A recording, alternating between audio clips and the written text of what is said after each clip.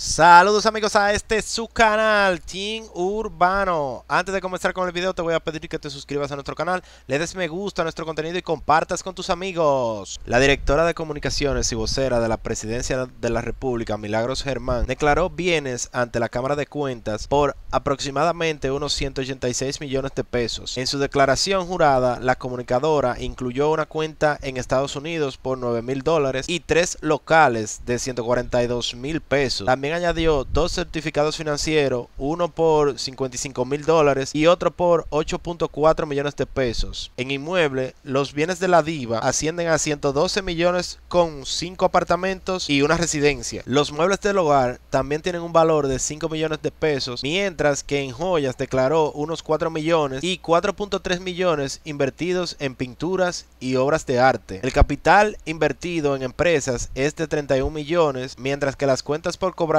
es de unos 17 millones de pesos. Entre los pasivos se cuentan dos préstamos hipotecarios de los que debe 7.2 millones y uno comercial en dólares que resta un total de 100 mil dólares. A eso se suma los gastos de alimentos, salud, mantenimiento de viviendas y otros gastos con un valor aproximado de 249 mil pesos al mes. Esto sin contar unos 5 millones por póliza de seguro. Por parte de la presidencia, Milagros devengará un salario de 180 mil pesos. La diva es una de las comunicadoras más destacadas del país. Se inició en los medios de comunicación luego de haber participado en el certamen de belleza Miss República Dominicana Universo en el año 1980, el cual le permitió ser la representante del país en el concurso internacional. Germán, de 61 años, era la conductora y productora general del programa de televisión Chévere Night, que se transmite en el canal 11 Telesistema. También fue de los cuatro jurados del reality show Dominican's Got Talent, donde estuvo acompañada de Nasla Bogart, Raymond Pozo y Waldy Jaques comenzó en la televisión junto a la presentadora Marisela Álvarez en el año 1991 en el programa Con los Ojos Abiertos y que estuvo en el aire durante cuatro años. Más tarde Germán inició un proyecto televisivo propio con Milagros Germán y posteriormente